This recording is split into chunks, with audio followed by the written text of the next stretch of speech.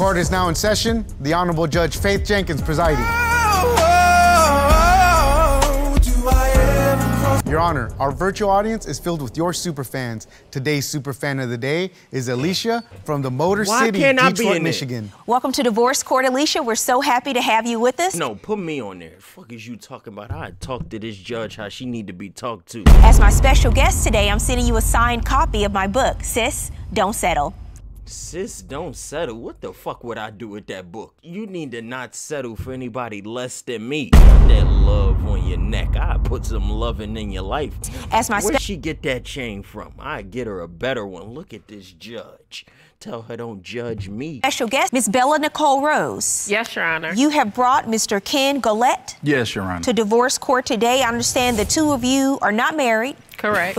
The fuck did you just say in the chat, Willie Bigsby? This, this nigga named Willie Bigsby talking about I suck her ass.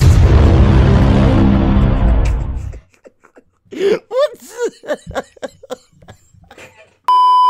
But you are engaged. Correct. And you're here in divorce. Okay, I'll start with you, Miss Rose. Why don't you give me some background? So after we got engaged, Yeah. um, his ex-wife has been a problem. Um, of course, his kids has been a problem. Not necessarily a problem to me. It's the fact that they don't know about me, and I can't see myself marrying somebody. One, his kids don't know about me, so we wouldn't know if they like me or dislike me. One, and then I don't see the reason why his ex-wife don't know anything about me. Interesting. She doesn't know you exist? No. You've been engaged for a year? Yes. Are you planning a wedding? Yes. Well, when are you going to spring I it on everybody, sir? When you walk down the aisle? What's going on? Why, is why do you say you're here? Today? I believe I'm here today because Bella, she fabricates the truth. I think that her insecurity. Is he getting married right now? Why is he wearing a tux? delusional thoughts in her head, mm-hmm. and a lot of times when somebody blames you for something, it's because they're guilty of the same thing. As, as I understand it, Mr. Gillette, you've been engaged for a year. You're planning a wedding, planning to get married Ew. soon. And Ms. Rose said your family, your ex, your ex-wife, and your children don't know that she exists. Correct. Is this true? That's that's partly true. Yes. Why? At the beginning, when I first met Bella, I was very upfront and told her that I was not looking for anything. Um, I was not trying to rush into anything. Mm-hmm. I had just recently got out of a divorce. Then When we started talking, and we, we became very close uh, because we became pregnant. Uh, Bella didn't carry the child long. She had a miscarriage. I'm sorry to hear that. Yeah, she had a miscarriage, and, and, and it was very devastating uh, for, for the both of us. However, Bella feels that it doesn't affect me as much as it affects her.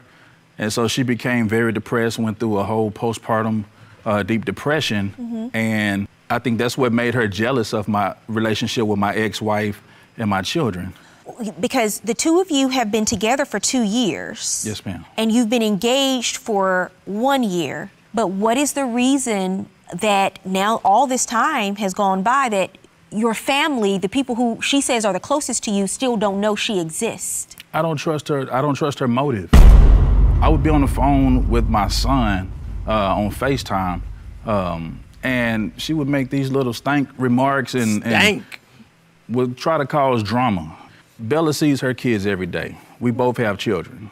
I raise my kids through FaceTime, and so I don't want anything to prevent me or cause me to not have access to my children. Mm-hmm. Give me another example of why you say oh. his prior marriage is an issue for you. she comes in town she stays at his house a few days i can understand but it, she has you know stayed at his house for a few months that's a relationship to me and it's not okay especially if she don't know anything about me you know i come over there he don't want me inside the house he'll stop me at the door i'm calling his phone he's not answering i'm texting he's not texting back Miss Rose can't come over. She she can't come in the house. She can't visit. She can't. Miss Rose shows up at my house trying to start a lot of drama. And at the time when my ex-wife did come to town, and uh, Why is she staying with you for three months? It was the summer visitations with my children. he still's not answering on why the ex-wife do not know about me one the kids don't know about me he wants to use insecurities i went through postpartum depression really bad i'm not going to deny that mm-hmm. and that's one of the reasons why when he first you know I don't know what's going on because the judge is pretty. I can't stop looking at her. Oh, oh, oh, Jude Faith already has her ball kicked. Why do they not know that this relationship exists? I have a clear explanation for that. What is it? When I got engaged to Bella, everything was going to be traditional. You know, I tell my ex and my kids about Bella and everything like that. What Bella didn't tell you is about her rendezvous with um, some guy she calls preacher.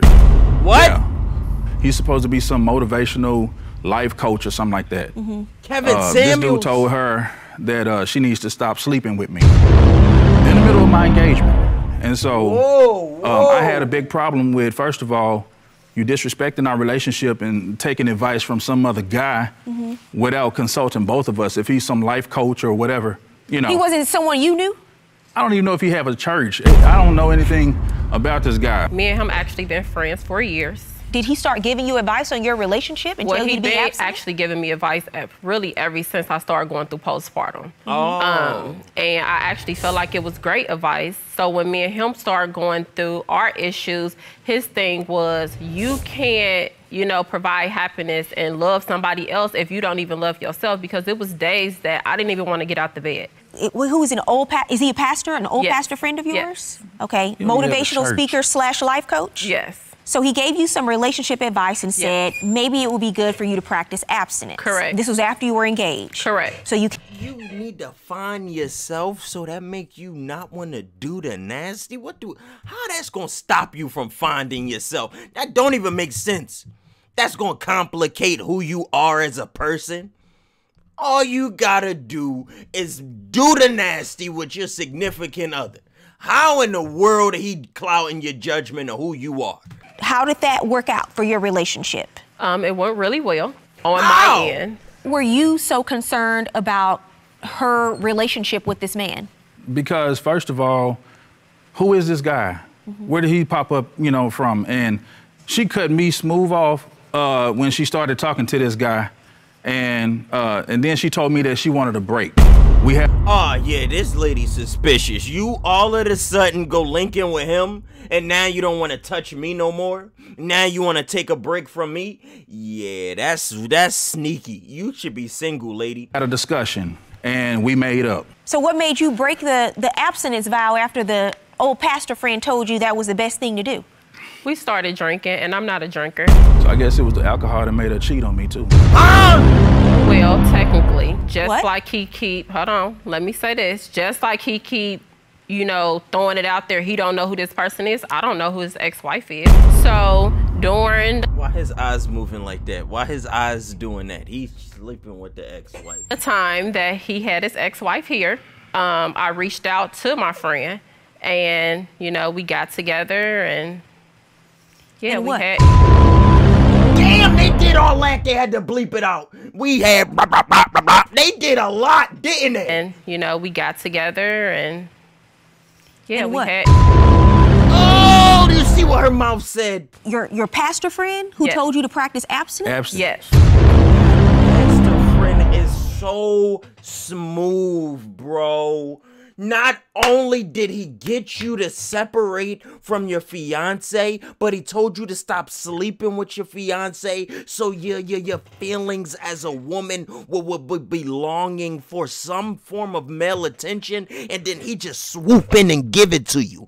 Oh, that's such a good technique. You've been manipulated, and you're sitting here with a giant smile on your face. He ran the ultimate game on your dumb ass. Look at this lady. She don't even feel like she's been used, and she been used.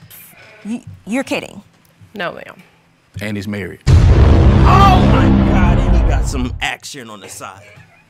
Um, recently um, i found out that i was pregnant again Who kid is it? cramping a lot and i went to the doctor and i was having another miscarriage it was Ken's, I'm gonna say, but I did have intercourse with the preacher. We did have protected sex, just to throw that out there. So um, I'm about to be sick. I want to throw up.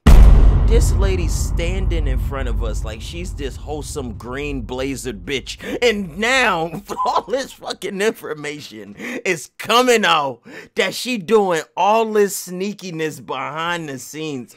Get the hell out of here, bro. Um I can't say it was his, but anything can happen. Um, When was this? So You you didn't don't tell know. me anything about. no. So Your Honor. I can't. Um, Miss Your Rose, Honor, the way I Miss found out about Miss Preacher- Rose. I have receipts. I, I was sitting there when I when I was at her house. This message pops up on the computer What screen. is that? Cool, I'll come up there at like 12 p.m. like usual, but why's why's the peach with the water? Why the peach with the water? Why peach in the water? Why peach with the water? It's an exchange between her and Preacher. Clearly states that she's been talking to this guy and engaging with him way longer than she's she's telling me. So I drove to her job. She's getting out of the car, wig twisted, lipstick smeared, and she's kissing this guy. You saw that? Yeah, so I walked up and confronted him. I told him I was gonna slap the protein out of him because he was messing with my fiance. No, your fiance messing with him. Don't try to flip this script. You know exactly what your fiance over here doing, and she got you over here in divorce court. I, I didn't fight him because my my argument is clearly with her Yeah. and not with him. She brought him into our situation. Let me see the messages. So you write to him, hey, handsome, grand risings king.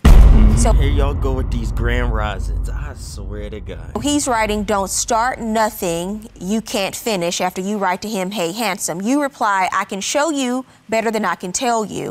And this old pastor friends of yours says, keep that same energy for when I come up there. What time? And you say you have an 11:30 and a 2:30, and you're free between those times. Cool. I'll come up there at the 12 p.m. like usual. And he sent a peach and some water droplets. And you said your wish is my demand. So he came up to your job. You hooked up at work. yes.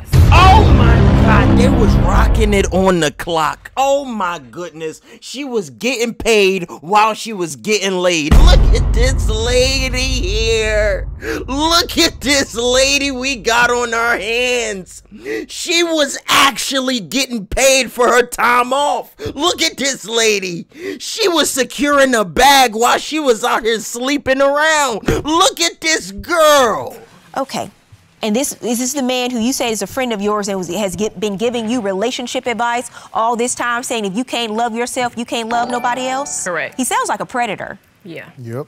Exactly. to be hundred percent keeping it hundred with you. Okay. And he sounds like he took advantage of you when he knew that you were vulnerable and he knew that you were weak and he knew that you were going through a difficult time. He took advantage of it. He took advantage of the respect that he thought you would have for him as a minister and as a pastor. a minister, and this is why I don't go to church now. This is why I don't. Half of these preachers, the only thing they praying for is that ass.